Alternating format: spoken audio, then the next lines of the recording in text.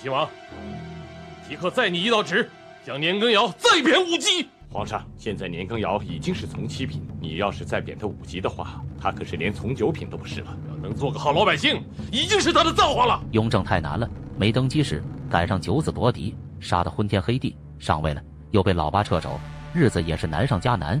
好在自己的奴才争气，这才让雍正保住了基本盘。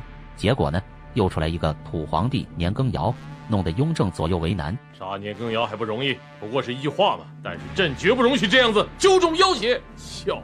居然连太后宾天也算在年羹尧头上。丫的，你们这是干啥？